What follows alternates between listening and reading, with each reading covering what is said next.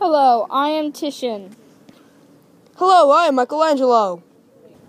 I am the humanist superhero of the Renaissance because I changed the world around me by including a poetic feeling in my art, while you never affected anything. Oh, yeah? Well, I was multi skilled and I obsessed over my work until it was finished and not eating and barely sleeping.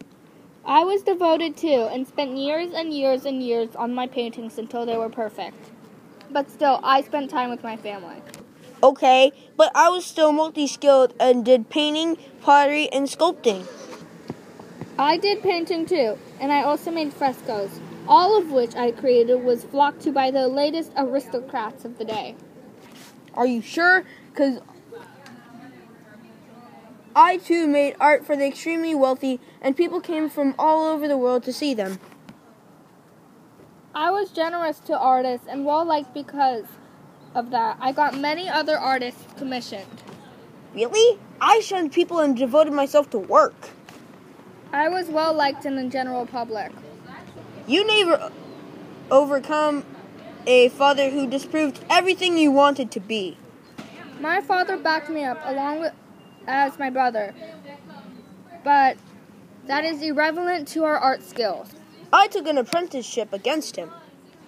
I used color in my paintings and brought them to life. I used black and white to show seriousness, plus, I didn't have the access to colorful paint. My paintings were known for their bright colors, delicate lines, and peaceful feelings they brought to people. My statue of David has been admired for many years, and millions of copies have, of it have been made of. My pieces of art are also copied and have been prized possessions of Europe for ages. But mine can be found in the common household. So, in conclusion, my art is way superior to yours. In your dreams, buddy.